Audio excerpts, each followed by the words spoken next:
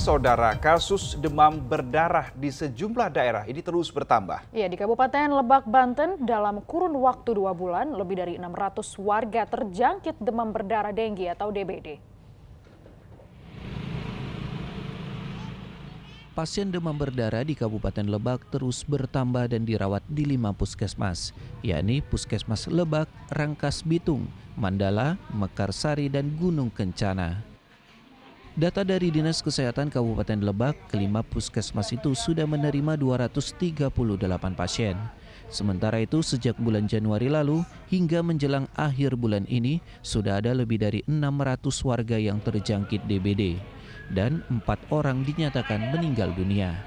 Dari bulan Januari sudah ada 610 kasus demam dengue dan demam berdarah dengue dengan empat kasus meninggal dunia. Pak, paling e, banyak itu sebarannya di wilayah mana? Pak?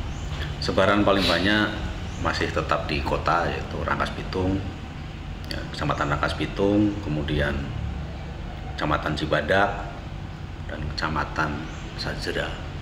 Sementara di Lumajang, Jawa Timur, Dinas Kesehatan setempat mencatat jumlah warga yang terjangkit demam berdarah terus meningkat.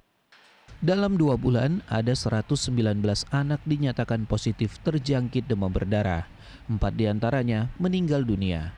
Warga diimbau untuk membersihkan rumah terutama di tempat yang lembab yang mengundang keberadaan nyamuk Aedes aegypti.